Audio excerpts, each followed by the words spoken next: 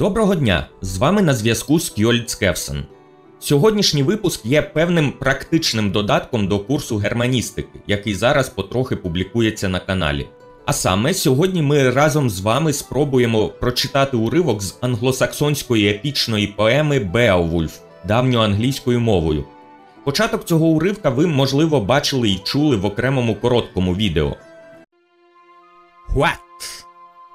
Вегардена in Gjerdahum Theod Kunninga Thrumje Frunon Hutha Ethelingus Ellen Fremedon Oftschuld Sheving Sheathena Thretum Monehum Meithum Meodosetla of Tech Eisodeorlas Але цього разу ми прочитаємо увесь уривок і безпосередньо з манускрипту початку 11 століття а в майбутніх двох частинах спробуємо його перекласти, провести лінгвістичний та філологічний аналіз і навчимося правильно його декламувати вголос. З цією метою я обрав найпершу сторінку поеми у манускрипті. Її ми з вами і будемо читати. Чому саме цю сторінку? Та тому, що будь-хто з вас, зайшовши на Вікіпедію, може легко її знайти, відкрити зображення високої якості і пізніше за бажанням самостійно виконати все те, що буде показано у відео. Жодних додаткових зусиль з пошуку потрібного матеріалу вам докладати не доведеться. Також на початку, перш ніж ми візьмемося за манускрипт, необхідно сказати кілька слів про саму поему Беовульф. Що це таке? Адже у школах під час уроків зарубіжної літератури її проходять лише мимохідь. Студенти-філологи зазвичай стикаються з нею на парах з літератури середньовіччя. Але це, звичайно, зовсім нічого не дає, адже читати Беовульфа частіше доводиться у перекладі. І студенти, як правило, чесно дивуються, навіщо взагалі їм читати якусь давню казку, у чому, як то кажуть, прикол цього твору.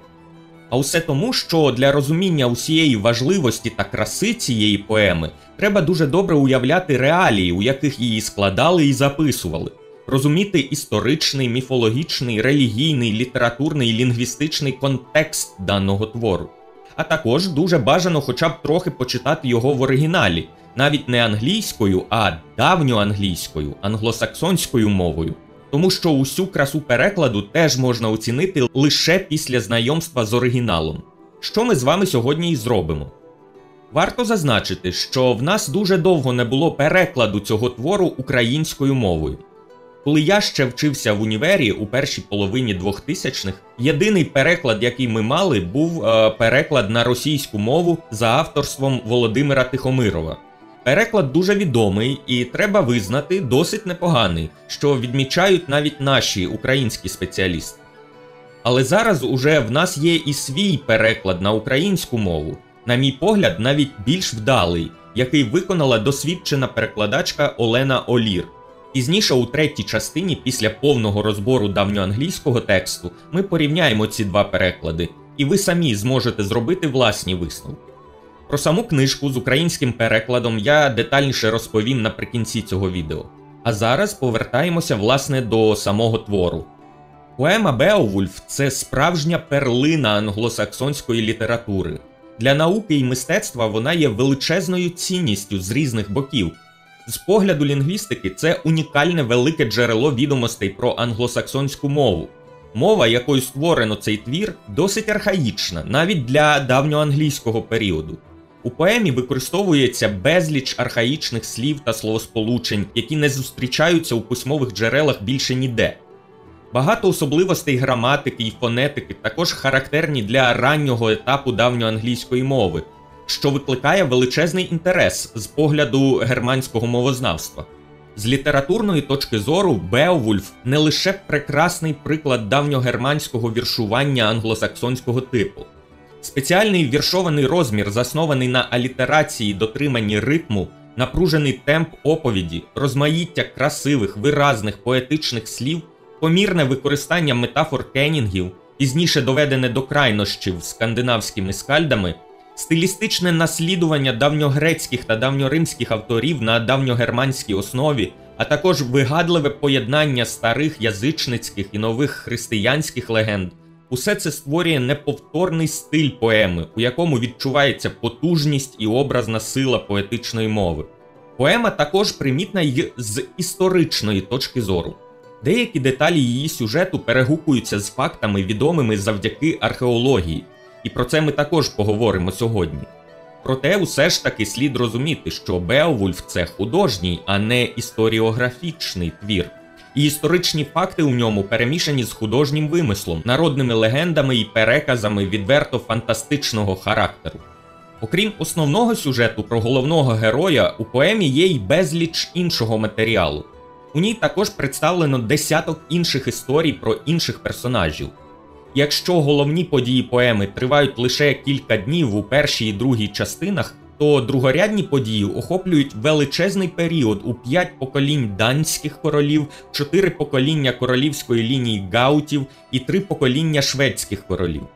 Ці історії розказані докладно, і видно, що вони були добре відомі як самому автору Беовульфа, так і його слухачам, які жили в другій половині першого тисячоліття нашої ери. Однак сучасному читачеві, незнайомому з давньогерманською філологією, багато що може здатися туманним і незрозумілим. Для тих, хто поему ніколи не читав, або, може, навіть ніколи й не чув про неї і не бачив жодної мультиплікаційної чи кіноадаптації, коротко перекажу сюжет. Увага! Спойлери! Головний герой поеми воїн на ім'я Беовульф із північно-германського племені Гаутів який прибуває зі своєю дружиною із земель південної частини сучасної Швеції до земель сучасної Данії, щоб допомогти місцевому королю або точніше конунгу Гродгару. На палац Гродгара під назвою Георот напало чудовисько, якась гігантська напівлюдина напівмонстр на ім'я Грендель, що пожирає ночами воїнів Гродгара. Чудовисько тероризує данів уже 12 років і молодий воїн охоче береться допомогти їхньому правителю. Колись давно Гродгар дуже допоміг батькові Беовульфа, сплативши за нього викуп могутньому клану Вульфінгів за вбивство їхнього побратима. З того часу Гаути й Дани підтримують дружні зв'язки. Беовульф б'ється з Гренделем у важкому двобої, що відбувається прямо у стінах палацу Георо. Боротьба з чудовиськом ускладнюється тим, що його не можна перемогти зброєю, зробленою людськими руками. Тому Беовульф перемагає монстра, відірвавши йому руку. Убивши одне чудовисько, він змушений також битися із матір'ю Гренделя, яка прагне помститися за свого сина. Після перемоги і в цій битві, яка відбувається вже у лігві чудовиська, в Геороті, палаці Конунга Гродгара, відбувається великий бенкет, на якому Беовульфу підносять безліч дарів, і він стає справжнім героєм, про якого складають пісні барди при дворі Гротгара. Беовульф, увінчаний славою, повертається додому, де йому також дають цінні дари. У другій частині поема переносить нас на 50 років уперед. За цей час Беовульф став королем гаутів і править цим народом, вміло захищаючи людей від ворогів. Однак на його королівство нападає вогнедишний дракон, пробуджений викраденням дорогоцінної чаші з його лігва. Будучи вже в похилому віці, Беовульф знову вдягає зброю і вирушає битися з драконом в останній битві. Під час двобою усі найкращі воїни Беовульфа злякалися дракона і втекли, покинувши головного героя на полі бою. Лише один воїн на ім'я Віглав залишається з королем і допомагає йому в битві до кінця. У важкій боротьбі вони вдвох все ж таки вбивають дракона, але сам Беовульф також отримує смертельне поранення. Перед смертю він встигає побачити скарби, здобуті в драконовому лігві, а також заповідає свої володіння Віглав.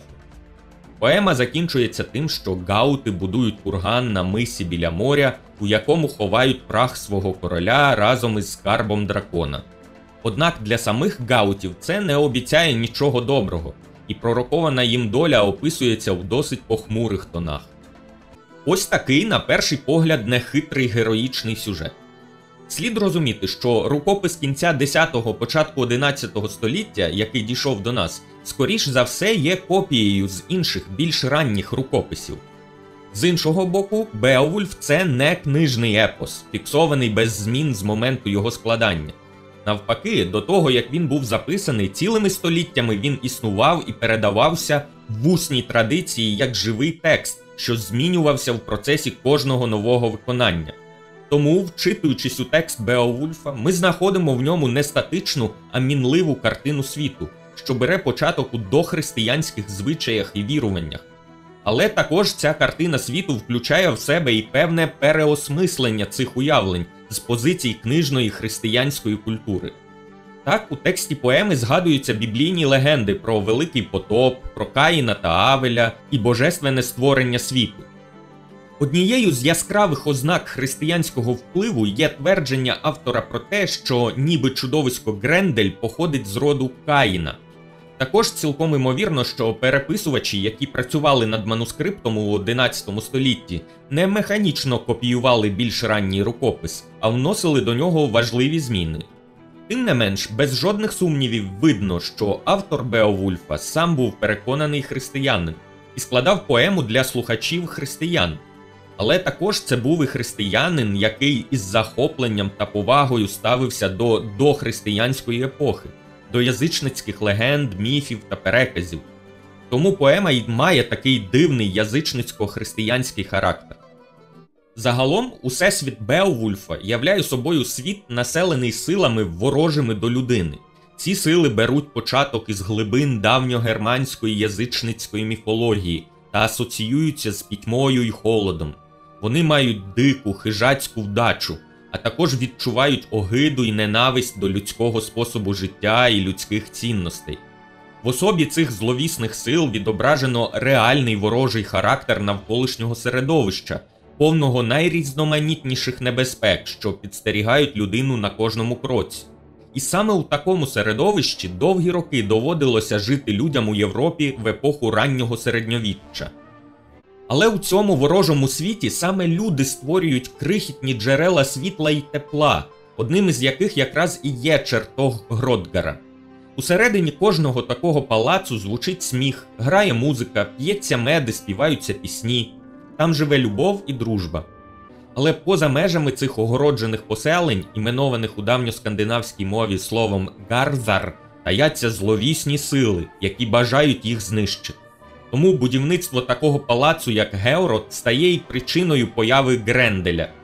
І у цьому моменті закладено основну філософську ідею Беовульфа. Щойно людина створить щось прекрасне, ворожий світ одразу спробує його знищити. Історично у своїй основі переказ про Беовульфа пов'язаний зі Скандинавією та деякими подіями, близькими за часом до англосаксонської навали на Британію з півострова Ютландії та берегів Північного моря. Так, похід на Франків, у якому був убитий король Гаутів Гігелак, у поемі є дядьком Беовульфа, стародавній історик Григорій Турський відносить до 521 року. Король Свеїв Онела загинув у битві близько 535 року. Крім них, у поемі згадуються такі напівлегендарні та реальні історичні фігури, як Зигмунд Геремод, знаменитий король східних готів Ерманарік та інші. Показово з цієї точки зору, що предмети матеріальної культури, описані в Беовульфі, багато у чому відповідають предметам з розкопок у містечку Саттонгу у східній Англії. До речі, про розкопки у Саттонгу нещодавно на Нетфліксі вийшов напрочуд непоганий фільм. Ціла низка археологічних робіт вказує на можливий зв'язок між похованням у Саттонгу та іншими похованнями у Венделі та Вальсгерде на південному сході Швеції. Загалом існують археологічні, історіографічні та лінгвістичні свідчення того, що згадуваний у поемі клан Вульфінгів, який напевне був одним із кланів східних гаутів, і рання королівська династія Вуффінгів у східній Англії мали родинні зв'язки та підтримували дружні стосунки. Зв'язок оповіді зі справжньою історією має вкрай важливе значення для формування героїчного епосу. Проте Беовульф як текст, народжений і переданий у безперервній усній традиції, сягає корінням набагато глибше до богатирської казки про героя винищувача чудовиськ. У цьому плані окремі мотиви та сюжетні лінії поеми дуже співзвучні, наприклад, Одіссеї Гомера або Акадському епосу про Гільгамеша. У Беовульфі поетично виражені найважливіші матеріальні й духовні цінності тієї доби. В описах зброї, бенкетних палат, подробиць дружинного етикету деякі дослідники вбачали зразковий дружинний епос, складений при дворі одного з англійських королів 7 або 8 століття. Проте, за словами Смирницького, набагато ймовірніше, що увесь цей князівсько-дружинний антураж Беовульфа просто невід'ємна частина героїчного епосу як жанру в цілому. Тож не можна стверджувати, що це просто дружинна поезія. Беовульф виходить далеко за її тісні межі. Отже, манускрипт, який ми розглядаємо, має шифр Коттон Vitellius A15. Називається він так тому, що кожне слово у шифрі вказує на конкретну шафу, полицю та розташування манускрипту в колекції видатного антиквара 17 століття сера Роберта Брюса Коттона, який зібрав найбільшу для свого часу приватну бібліотеку стародавніх рукописів. Саме завдяки йому ми сьогодні взагалі знаємо про існування такої поеми, як Беовульф. У бібліотеці Коттона стояло 14 книжкових шаф, на кожній з яких було встановлено бюст якогось відомого імператора Цезаря, Нерона, Клеопатри, Калігули тощо. Відповідно, і сама шафа отримувала ім'я конкретного правителя. Назва саме цього манускрипта означала, що він знаходився у шафі Вітеліус на першій полиці згори під літерою А, 15 у ряді. Цей манускрипт неоднорідний за своїм походженням. Насправді він є двома різними манускриптами, уперше зшитими разом самим сером Коттоном. Перший манускрипт називається Southwick Codex. Це переклад монологів святого Августина з латинської на давньоанглійську мову. Переклад був виконаний самим королем Альфредом Великим, який прославився не лише талантом правителя, дипломата і воєначальника, а й любов'ю до освіти і наук. При цьому він не тільки всіляко підтримував учених монахів при монастирях, а й власноруч перекладав різні твори своєю мовою. Багато в чому завдяки його діяльності Уесекський діалект давньоанглійської мови, починаючи з 9 століття, зайняв домінуюче положення в Англії раннього середньовіччя. Проте сам Southwick Codex не був написаний Альфредом власноруч. Це пізніший список, тобто текст із давнішого джерела, скопійований ченцями всередині 12 століття. Другий манускрипт зветься Noel Codex, названий так на ім'я попереднього власника, до того як він потрапив до Коттонівської бібліотеки. На першій сторінці цього кодексу зверху є підпис Lawrence Nowell. Цей кодекс було написано наприкінці 10-го, початку 11 століття двома писцями. Надалі манускрипт потрапив до бібліотеки собору в Лічфілді, де його, можливо, і придбав Лоуренс Ноуел у 1563 році. Це був відомий для свого часу вчений картограф і лексикограф, який також захоплювався колекціюванням різноманітного антикваріату, включаючи стародавні рукописи англосаксонською мовою. Ноуелський кодекс включає в себе п'ять різних творів: страсті святого Христофора, ілюстрована праця Дива Сходу, лист Олександра до Арістотеля, власне поема Беовульф і ще одна поема Юдита. Усі ці тексти були складені у різний час, у різних місцях та на різних діалектах. Причому страсті Христофора та Юдита описують період християнізації Англії. У дивах Сходу й листі Олександра розповідається про стародавні дохристиянські часи, а в поемі Беовульф описується дохристиянська Скандинавія.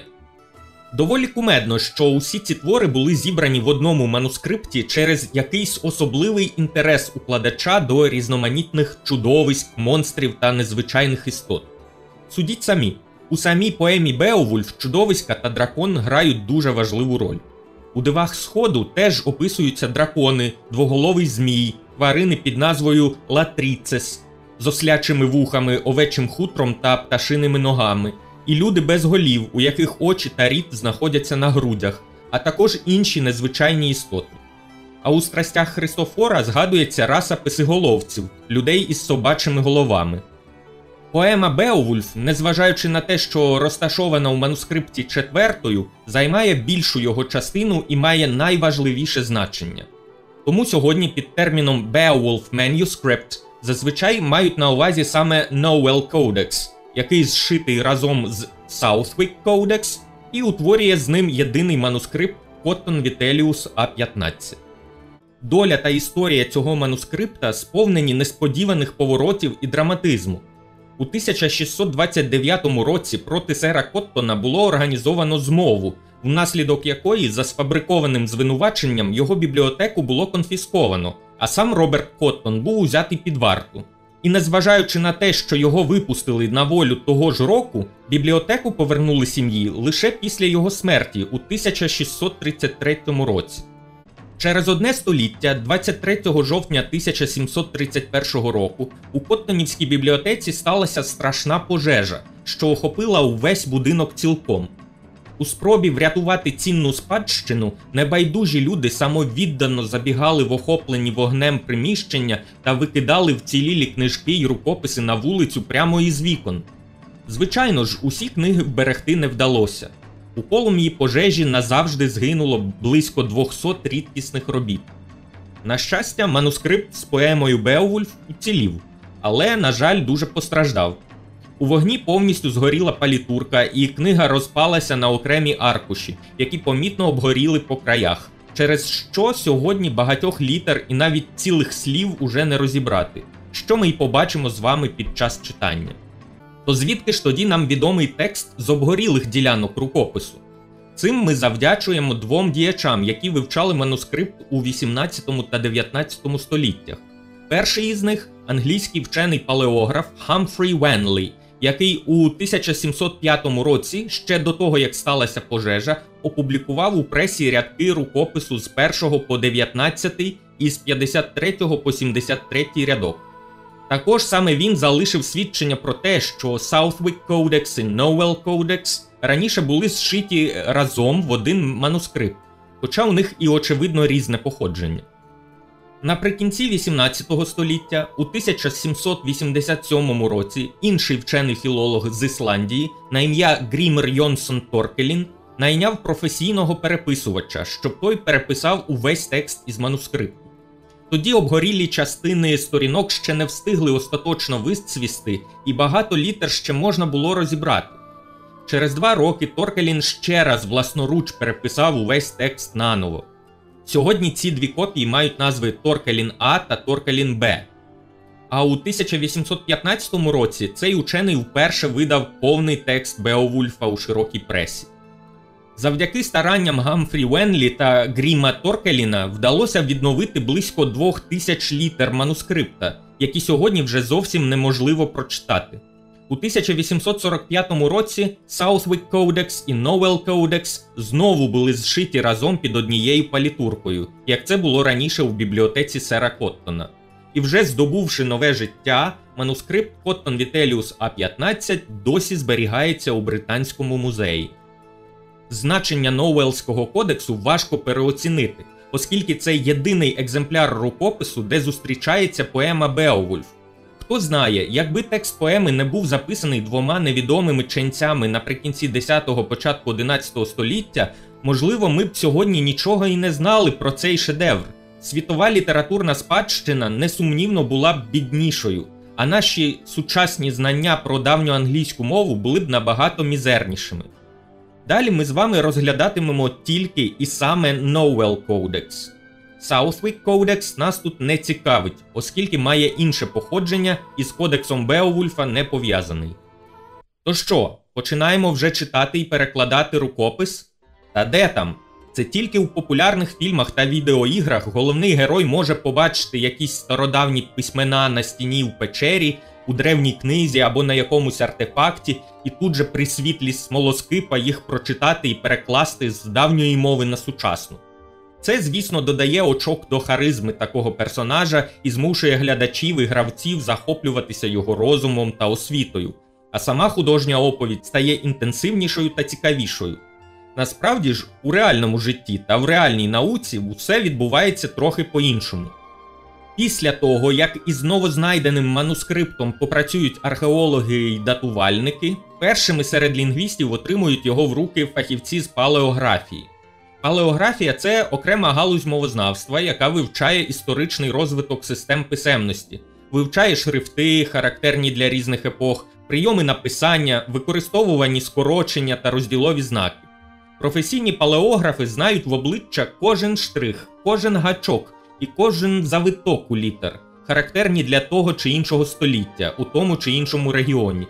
У вічі палеографам часто впадають настільки дрібні деталі, що звичайна людина ніколи б і не подумала звернути на них увагу.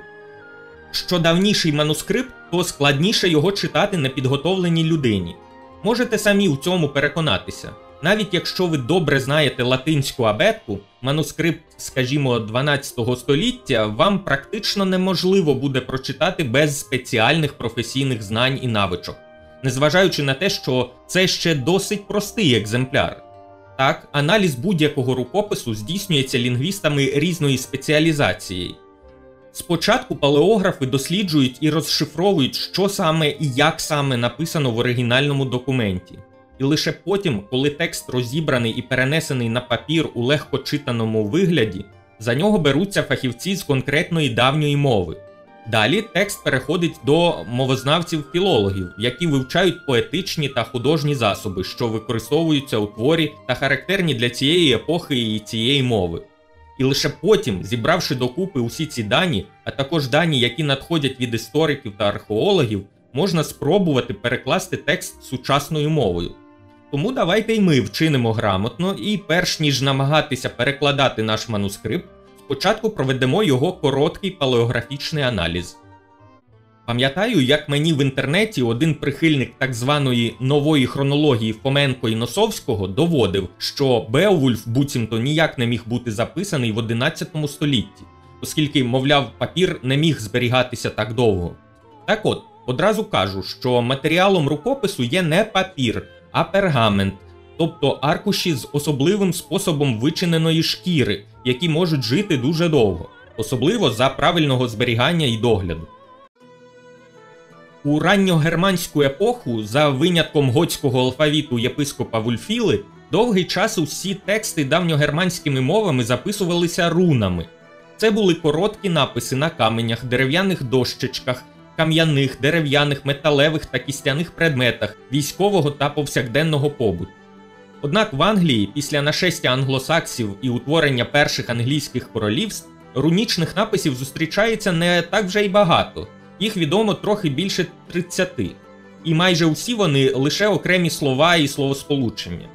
А ось абсолютна більшість пам'яток давньоанглійської мови, у тому числі й Беовульф, виконані латинським письмом здебільшого так званим інсулярним, тобто острівним мінускулом.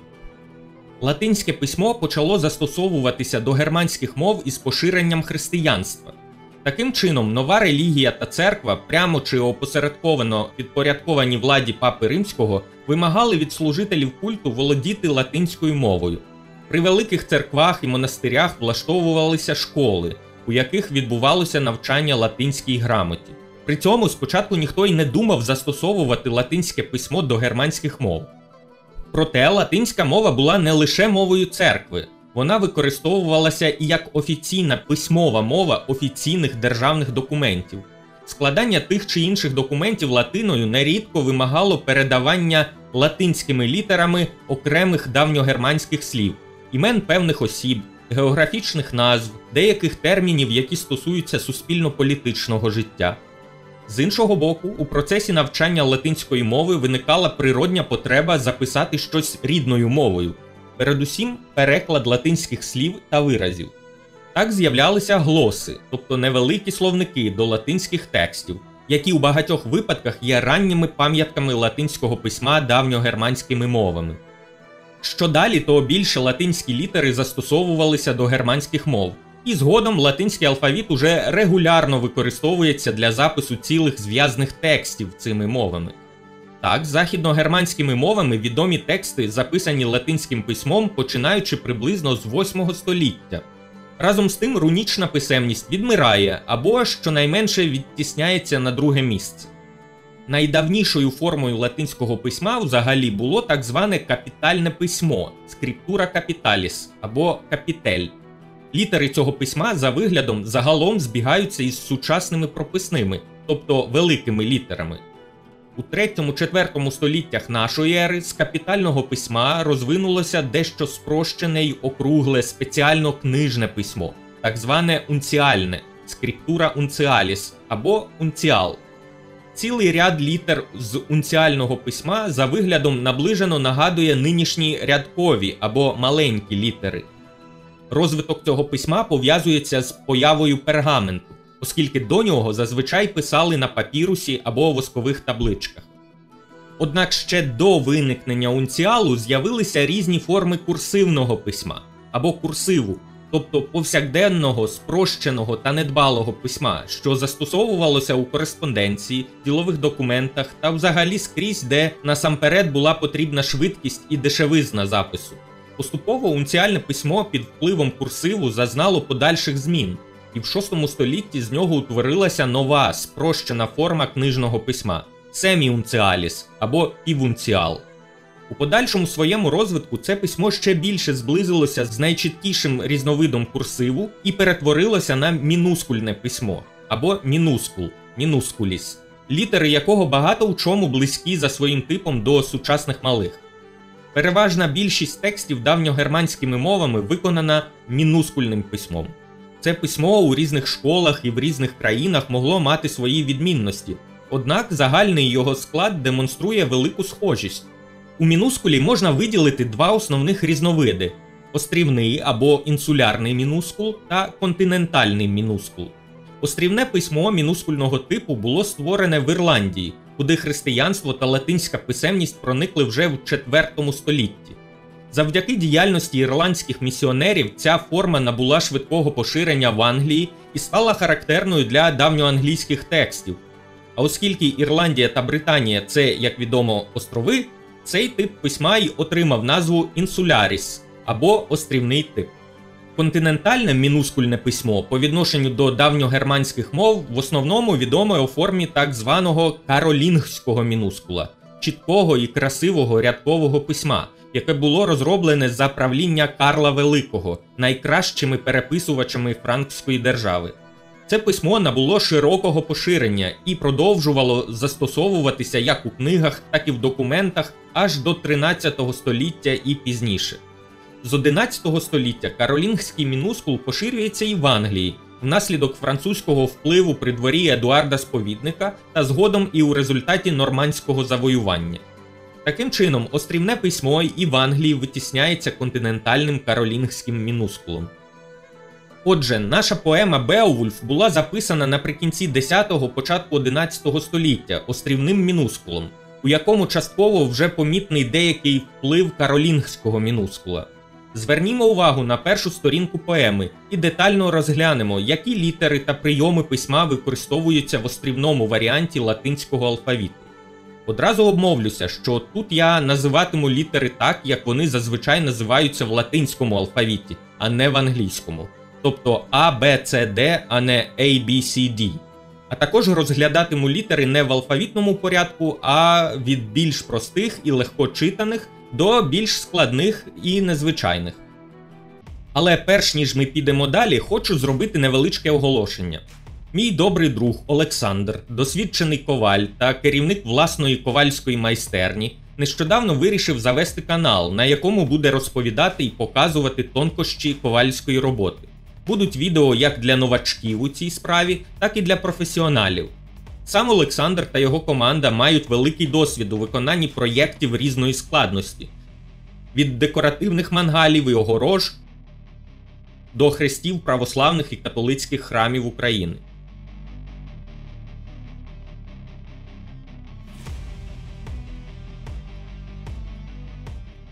Його майстерня виконує усі види робіт, пов'язаних з куванням, штампуванням, литтям, плазменною різкою тощо, з використанням як ручної роботи, так і сучасного автоматичного устаткування.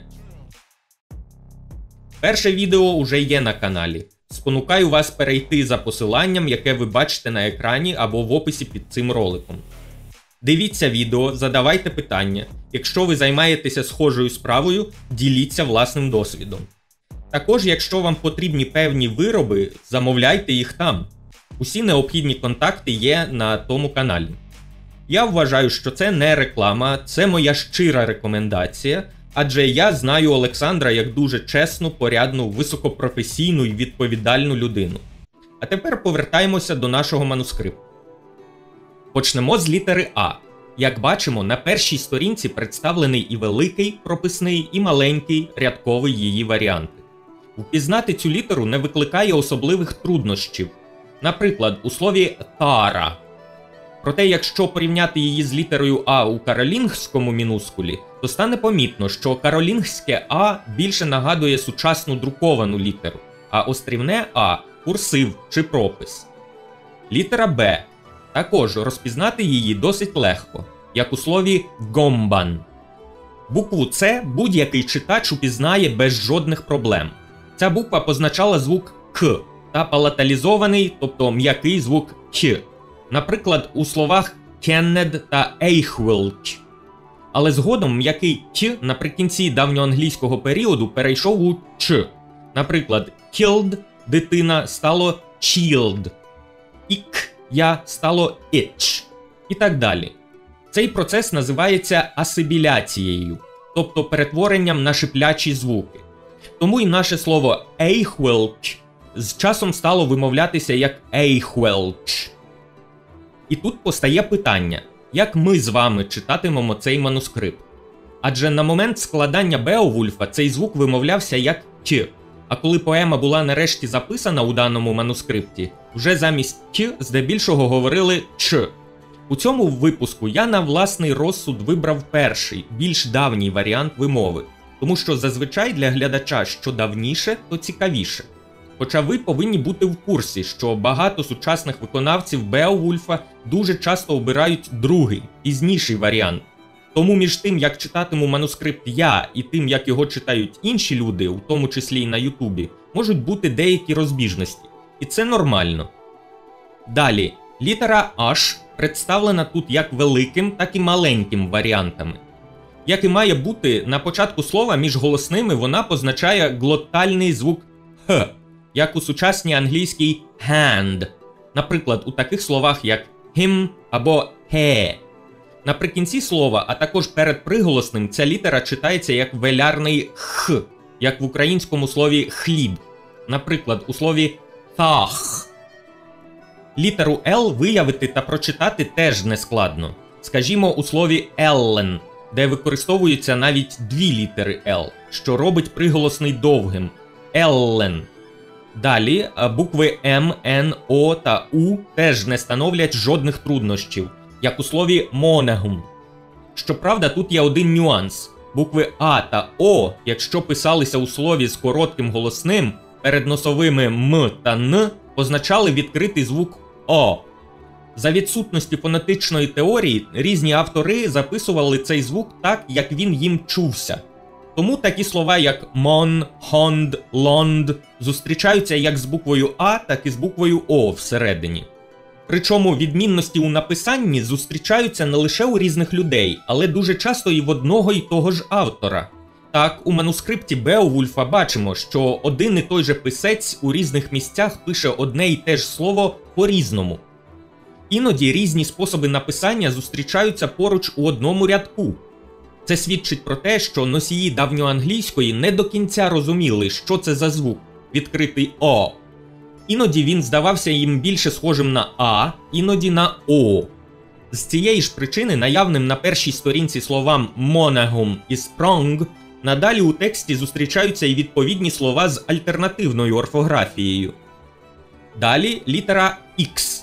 На першій сторінці з'являється лише один раз у слові weox. Тепер ми поступово переходимо до більш незвичайних літер. Буква ESC це лігатура, об'єднання двох букв А та Е. У класичній латині поєднання АЕ вимовлялося як ай, наприклад, у слові кайсар, Цезар, у середньовічній латині як Е, кесар. А в острівному англосаксонському мінускулі ці дві літери злилися в одну літеру еск або еш, яка передає широкий Е, як у вже знайомому нам слові ейхвелч. Літера Е. Рядковий її варіант, як бачимо, складається з округлого штриха ліворуч і довгого поперечного штриха посередині, який виходить за межі літери та з'єднує її з іншими буквами. Загалом, за контурами, ця літера нагадує сучасну українську букву Є. Наприклад, у слові кеннед. У каролінгському мінускулі цей горизонтальний середній штрих трохи піднятий вгору навскіс, що робить літеру більш схожою на сучасну друковану латинську букву Е або російську букву Є. Схожі випадки є і в Беовульфі, наприклад, у слові ундер, що відображає вплив каролінгського мінускула. Одна з літер, за якими чітко можна відрізнити острівний мінускул від каролінгського, це літера F, яка в острівному варіанті пишеться на одному рівні з іншими буквами, як у слові фунден, а вертикальний штрих йде вниз. У той час як у каролінгу літера F більше схожа на сучасну афпер. Буква Т також виглядає зовсім не так, як ми звикли бачити її у сучасних текстах. В інсулярному та каролінгському письмі це невелика літера, яка вгорі має довгий поперечний штрих, як у слові офт. Буква І в мінускульному письмі завжди пишеться без крапки зверху. Наприклад, у слові «in». Натомість буква Y навпаки пишеться з крапкою вгорі. Ця літера була запозичена в латинську мову з грецької і спочатку використовувалася тільки у словах грецького походження. Тому вона і називалася і грецьке, і грека, звідси і назва Y.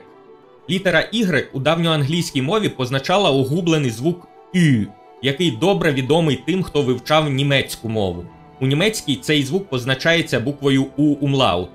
Як приклад, наведемо те саме слово Eichwilch. Як бачимо, серед звичайних ігреків на першій сторінці трапляється також одне незвичайне написання. Це декоративна форма літери, яка зустрічається на початку слова, хоча такі слова доволі рідкі. Літера Йох.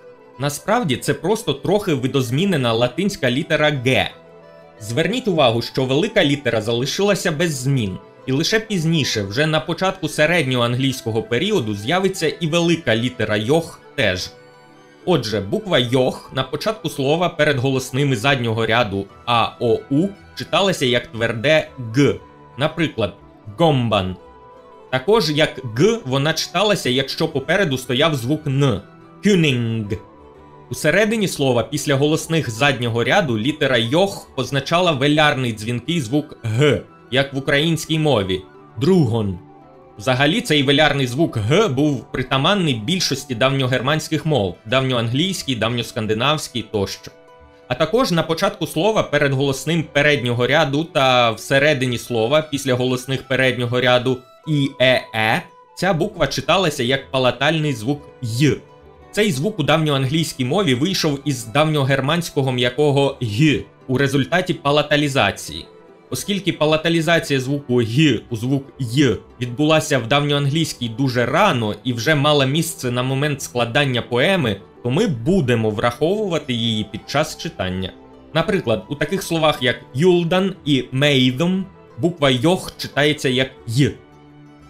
У мінускульному варіанті латинського письма для позначення звуків с та з в основному використовується так звана довга буква С, схожа на математичний знак інтеграла. Наприклад, візьмемо слово «ейсоде», Хоча іноді все ж таки автор манускрипта використовує і коротку С у двох словах сюддан і суа. Проте довга С продовжувала використовуватися навіть у друкованих книгах аж до 19 століття. Літера Д. Рядковий варіант цієї літери писався з вертикальним штрихом, нахиленим вліво. У палеографії цей варіант літери Д називається унціальним Д, оскільки він потрапив до мінускульного шрифту з латинського унціалу. Наприклад, слово фремедон. З унціального Д походить написання й іншої літери літери That або F з перекресленим верхнім штрихом. Буква F разом із буквою Thorn, безпосередньо запозиченою з рунічного алфавіту, могли позначати і глухий міжзубний Th, і дзвінкий «th», залежно від положення у слові. Наприклад, у словах «oth» або «thrym» літери «s» і «thorn» позначають глухий «th». Однак літеру «thorn» не слід плутати з іншою буквою рунічного походження буквою «вюн», яка читається як губно-губний звук «в». Сьогодні в англійській мові замість руни «вюн» пишуть букву W. Наприклад, у слові «волкнум» ми бачимо якраз цю руну.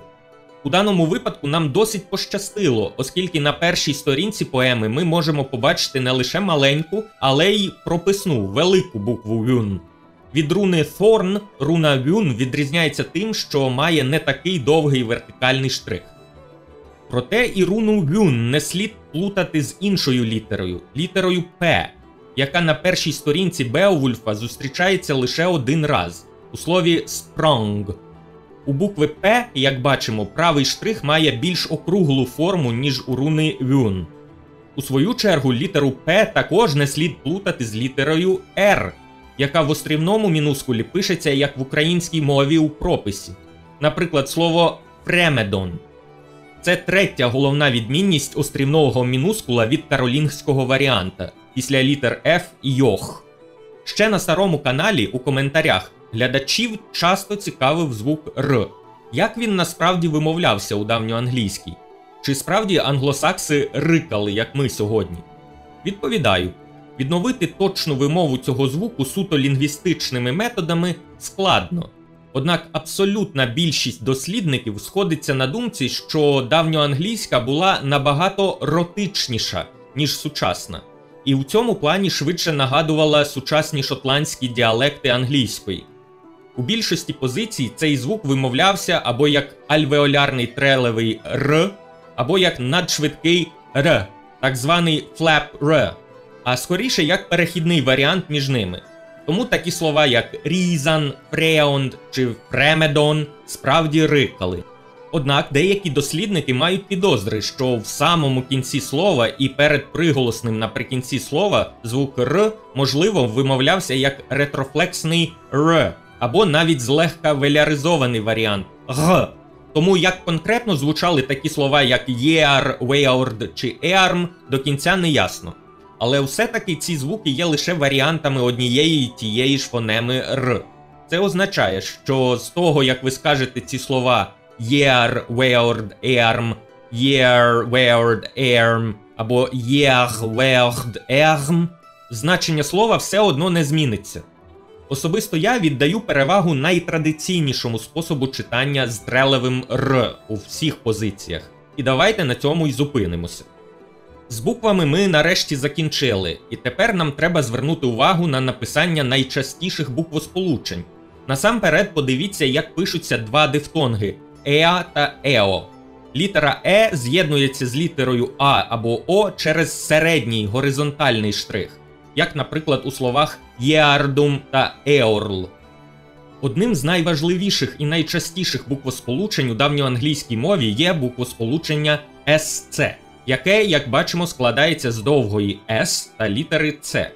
Спочатку воно позначало поєднання звуків СК, і тут теж згодом сталася зміна у вимові. Як ви пам'ятаєте, м'яке К у багатьох словах згодом перейшло у Ч. Так само і поєднання СК перед голосними переднього ряду в результаті асибіляції з часом перейшло у Ш. Наприклад, скип корабель стало шип. Так само і тут такі слова, як skilled і skeving пізніше стали вимовлятися як should і sheving. Таким чином, початкові давньогерманські звуки К, СК і Г на момент складання Беовульфа у 8 столітті вимовлялися як К, СК та Й, тобто змінився тільки останній звук æghwylc, scolde, gyldan. А на початку 11 століття, коли поема була записана, вони вимовлялися вже як Ч, Ш Й. Æghwylc, scolde, gyldan. Як уже було сказано, я у цьому ролику вибрав більш давню вимову. Хоча дуже часто можна зустріти її пізнішу у виконанні різних людей, які читають Беовульфа в оригіналі. Ну і останнє, що нам залишилося, це розібрати основні скорочення, які використовуються у нашому манускрипті. Благо у Беовульфі їх зовсім небагато. Хоча взагалі документи, написані острівними і каролінгськими мінускулами, зазвичай рясніють різними скороченнями. І якщо ви не знаєте їх усі на пам'ять, чому спеціально навчають професійних палеографів, прочитати і зрозуміти такий рукопис вам буде неможливо. Навіщо переписувачі скорочували слова? Справа в тому, що в той час пергамент був дорогим задоволенням. І природньо, що будь-які елементи, котрі часто повторюються або займають багато місця, намагалися скорочувати задля його економії. Також часто використовували скорочення, щоб уникнути нагромадження однакових вертикальних штрихів, які важко читати. Таким чином, на першій сторінці ми можемо побачити такі скорочення. Наприклад, слово fat зазвичай пишеться у вигляді однієї літери thorn з перекресленим вертикальним штрихом. Також, якщо слово закінчувалося на літеру М, яка складається з трьох вертикальних штрихів, заради економії місця та щоб уникнути нагромадження цих штрихів разом з іншими літерами, часто ця буква записувалася у вигляді горизонтальної рисочки над попередньою літерою. Так, наприклад, У з рисочкою зверху означає буквосполучення ум, а І з рисочкою означає ім. На першій сторінці ми можемо знайти одне таке скорочення слово монегум. Як бачимо, наприкінці над буквою У стоїть рисочка, яка означає, що слово тут скорочене. Ця рисочка в палеографії латинської мови називається макрон, і за своєю функцією близька до титла й тильди в рукописах слов'янськими мовами. То що, тепер ми, озброївшись знаннями, готові прочитати текст із першої сторінки поеми Беовульф. Щоб було цікавіше читати текст, спочатку коротко розповім, про що йдеться на першій сторінці взагалі. Обережно спойлери. Починається поема з історії данської королівської династії Скільдінгів. Родоначальником цієї династії є прославлений міфічний конунг Скільдскевінг або Шильдшевінг, поява якого в Данії, а також смерть оповиті ореолом таємничості. Назва мого каналу Скьольдскефсен якраз і є ім'я Скільдскевінг, стилізоване під давньошведський діалект давньоскандинавської мови кінця 15 століття. Правнук Скільда Скевінга Гродгар надалі побудує той самий палац Георот, у чертогах якого відбуватимуться події першої половини поеми. Після смерті Скільда місце конунга зайняв його син Беовульф, волею випадку або з ініціативи переписувача тезка головного героя поеми. Про нього ми ще поговоримо пізніше. В цілому, на першій сторінці поеми йдеться про те, якими добрими правителями були Скільд Скевінг та його син, як уміло вони керували своїми володіннями і яку славу здобули собі у віках. Докладніше ми говоритимемо про це все пізніше, коли перекладатимемо текст. А зараз спробуємо просто прочитати, що там написано. Як уже говорилося, манускрипт постраждав у пожежі, і тому кінець деяких слів, а ближче донизу сторінки і цілі слова прочитати вже неможливо, тому ми їх відновлюємо за рукописами Торкеліна. Отже, перший рядок. Хват. Ве. Гарде. На. Ін. Gerdahum, Feodkunninga, Thrum, Jefrunon, Hu, Tha, Ethelingas, Ellen, Fremedon, Oft, Skuld, Skeving, Skävena, Freatum, Manehum, Meidum, Meodossetla, Ofteach, Eisode, Eorl, Syddan, Äärst, Wearth, Peaskeaft, Funden, He, Fäs, Frovre, Jebad, Weox, under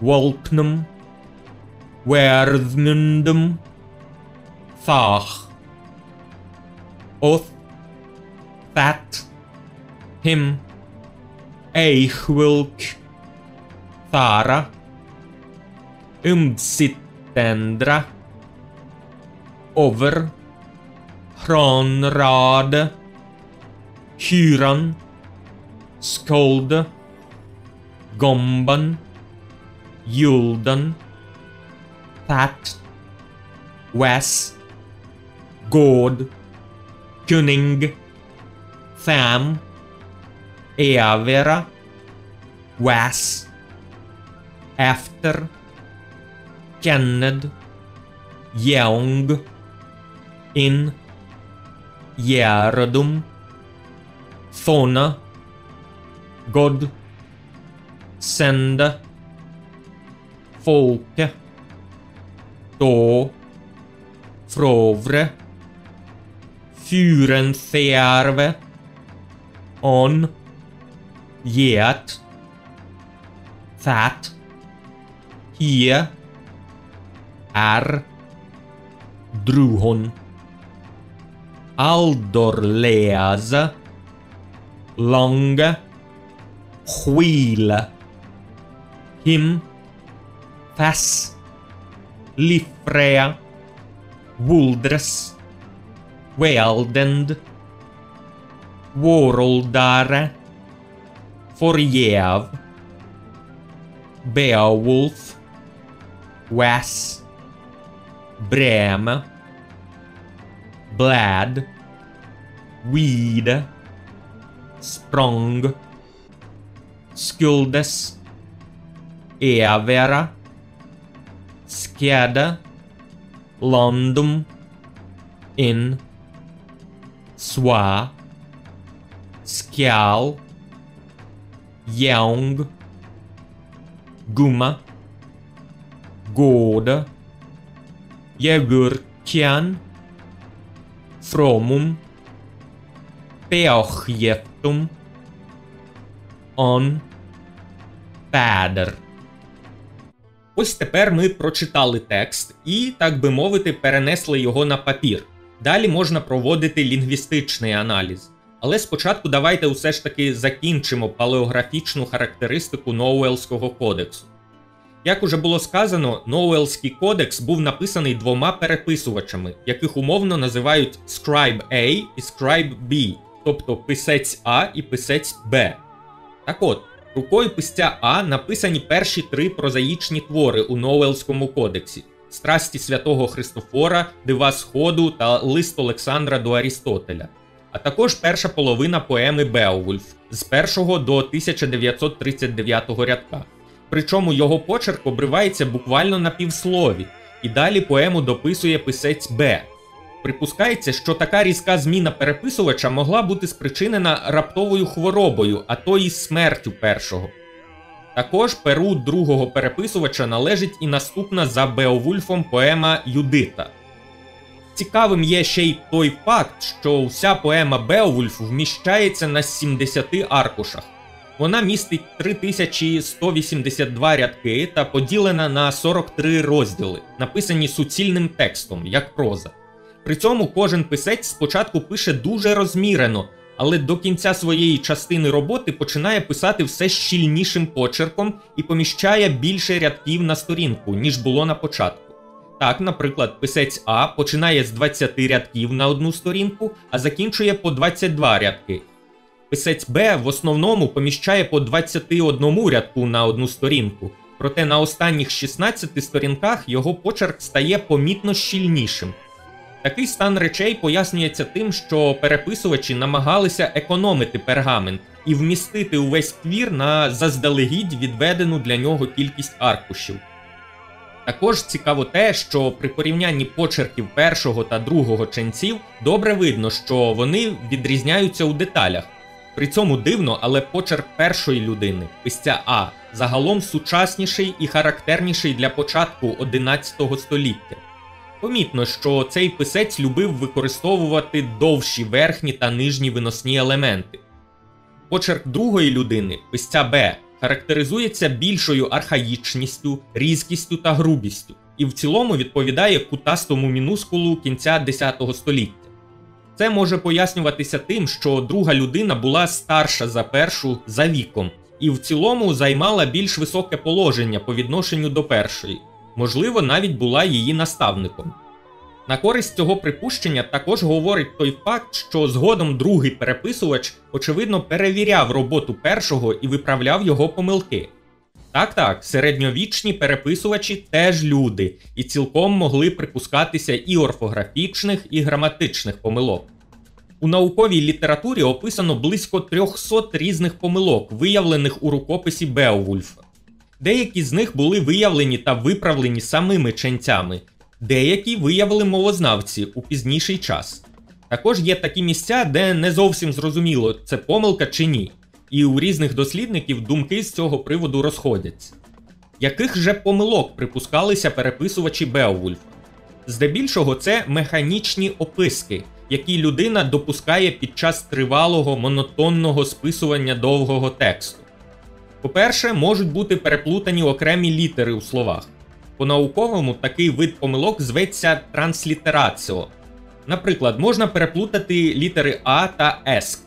У рядку під номером 578А можна побачити, що замість слова хвезере проте написано хвазере. Хоча трохи вище на цій же сторінці це слово написано правильно. Також можуть бути переплутані літери Д та F. У рядку 2064 слово меч написано не «sweord», а «sweord». Другий тип помилок це так звана гаплографія, коли пропускається певна буква або склад у слові, або навіть пропускається ціле слово у реченні. Наприклад, у рядку 987а у словосполученні Ейлу Унгеору мерзенний жахливий пропущене закінчення У, оскільки обидва прикметники повинні узгоджуватися в жіночому роду з іменником Гондспору кіготь. По-третє, зустрічаються в тексті також випадкові повторення літери, складу або слова. Такий тип помилок називається дитографія. Наприклад, перша сторінка аркуша під номером 154R закінчується словом хільде, а наступна сторінка починається з того ж слова. Четвертий тип помилок це метатеза, коли окремі літери, склади чи цілі слова випадково переставляються місцями. Наприклад, у рядку 1285b можна виявити слово єфтурен, хоча правильно має бути єфтруен, викуваний. Однак, незважаючи на все це, видно, що переписувачі ставилися до своєї роботи дуже серйозно і відповідально. Вони періодично перечитували те, що вже написали, і намагалися виправити свої помилки, які вони помітили. Так, у рядку 331b спочатку писець написав влокн, але потім сам і виправив на влонг, самозакоханий, хвалькуватий. Навіть на першій сторінці ви, можливо, під час читання помітили помилку. У слові хронраде спочатку чернець написав зайву літеру, яку потім спробував затерти. Як було сказано, другий писець також перевіряв роботу першого і виправляв його помилки. У рядку під номером 106а помітно, як у слові скюппенд або щуппенд творець, перший чернець не дописав букву Д, яку згодом дописав писець Б. Також у рядку 479а писець А пропустив у слові долскеадан, бо долшеадан бездумний грабіжник, букву Е, і потім її дописав зверху. Діалект давньоанглійської мови, яким написаний Беовульф, в основному уесекський, тобто західносаксонський, але містить безліч слів із інших діалектів, здебільшого діалектів англів. Однак, крім усього іншого, характерною особливістю письма другого ченця є те, що замість дифтонга ео він дуже часто мимоволі пише дифтонг іо, що видає в ньому кентське походження, оскільки саме у королівстві Кент у той час такі слова, як деоп глибокий або сеовон сім, вимовлялися як діоп та сіовон. Із цим пов'язаний кумедний факт. Деякі студенти-філологи, які проходили поему Беовульф в університеті, люблять підсміюватися з неграмотних товаришів, які іноді можуть назвати поему не Беовульф, а Біовульф. Насправді ж, сам писець Беа у манускрипті іноді пише ім'я головного героя саме так, і слово Біовульф у тексті рукопису зустрічається цілих 14 разів. На цьому все на сьогодні. Перша частина нашого дослідження добігла кінця. Дякую всім за увагу. То як вам відео? Відео файне, розумне, пізнавальне. Я ж трохи спітнів, коли ся дивив. Усіх чудовиськ знайшов. Мізки запрацювали, то є корисна робота, я вам кажу. Але ж як можна віддячити автору ролика? По-перше, для цього є коментарі, де ви можете написати власні думки і слова подяки. По-друге, треба натиснути лайк і підписатися на канал, бо це ще не все, про що Скьольд хотів розповісти. Та то все я вже зробив і усім раджу. Але якщо я хочу подякувати якось більш суттєво, окрім коментаря, підписки лайка. Для цього є спеціальний український сервіс Дяка, створений якраз для того, щоб можна було підтримати автора, який створює цікавий контент. Якщо є бажання, там можна навіть одноразово закинути пару гривень з кьольду на каву. Але є ще більш вдалий варіант підписатися на Патреоні, де ви зможете відправляти щомісячний донат, можна невеликий. Великий краще відправляйте ЗСУ та волонтерським організаціям. До речі, Скьольд хоче подякувати тим шанувальникам мовознавства, які вже трохи підтримали його у цей скрутний час. Велика вам шана! Тримаймося разом, бережіть себе. Слава Україні! До речі, ось е, буквально десь місяць тому е, замовив собі ось таку книжечку. Мені ніхто за це не платив. За рекламу я просто від себе хочу порекомендувати. Це переклад е, Беовульфа на українську мову, виконаний перекладачкою Оленою Олір, про яку я казав ще на початку відео. Що я хочу сказати? По-перше, книжка дуже красива, її просто приємно тримати в руках. Дуже файно оформлена. Мені навіть складно уявити, яка обкладинка може бути краще для такого твору. І всередині книжка дуже добре оформлена, є кольорові ілюстрації. Здебільшого це е, різні знахідки з розкопок у Сатонгу, або ось шолом епохи Венделя і так далі.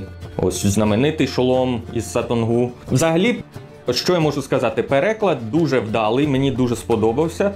Але крім перекладу, хочу звернути вашу увагу на деякі е, деталі.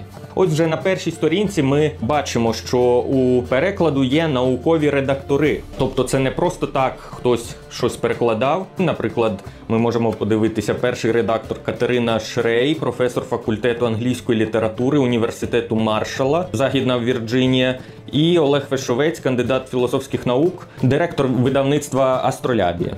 Окрім е, наукових редакторів, є ще рецензенти наукові. Ми бачимо це Леонід Рудницький, е, професор порівняльного літературознавства університету з Філадельфії. Та Максим Стріха, завідувач кафедри перекладу Київського університету імені Бориса Грінченка. Отже, як бачимо, це дуже великий плюс, тому що це не як знаєте, є такий е, російський театральний режисер, наче Іван Діденко, який сам чогось вирішив, що він може без освіти, без кваліфікації зробити так званий правильний переклад Шекспіра, Ромео і Джульєти і Гамлета. За його словами, усі попередні перекладачі взагалі переклали його неправильно. Всі шекспіроведи, люди, які займаються цим вже дуже давно, які спеціалізуються на цьому, вони усі помиляються. А він, не маючи жодної кваліфікації в цій справі, і не знаю наскільки він кваліфікований в області ранньої новоанглійської мови, вирішив, що він може зробити ось переклад краще ніж усі інші. Тут же ми бачимо досить солідний підхід до справи. По-друге, як бачимо, переклад Беовульфа із англосаксонської мови зроблений розміром оригіналу. Тобто перекладачка спробувала підійти до цього так, щоб максимально зберегти оригінальний віршований розмір, яким написаний Беовульф. Наскільки це можливо, звичайно, е, але це досить е, солідна робота. Е, Що мені дуже сподобалося, це те, що велику частину книжки складають додатки, різноманітні додатки. Тут є і пояснення від перекладача, є наукові коментарі до самої поеми, до перекладу. Усе це саме по собі дуже цікаво почитати. Є докладні описи ілюстрацій до цієї книжки, і є коментарі до самого тексту. Це теж дуже великий плюс.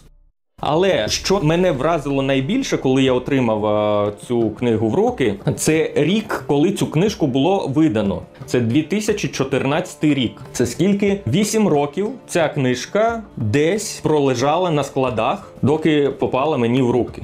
І ось що мені цікаво, де ми всі з вами були всі ці 8 літ. Це звичайно жарт, але дійсно шкода, що такі проєкти залишаються без уваги, і книжки такого рівня так довго лежать на складах і не продаються в той час, як тонни макулатури розкуповуються багатьма людьми щодня. Я розумію, зараз дуже складні часи. Багато хто думає про власне виживання, аніж про купівлю літератури. Але я хотів би, щоб, хоча б після завершення війни війни і перемоги. Ми більше звертали увагу на такі речі. І якщо у вас буде можливість, теж е, замовте собі, підтримайте. Це дуже гарне починання, оскільки в нас нарешті з'являються переклади серйозних творів українською мовою. І взагалі ця книжка сама по собі прикрасить домашню бібліотеку будь-якої освіченої людини.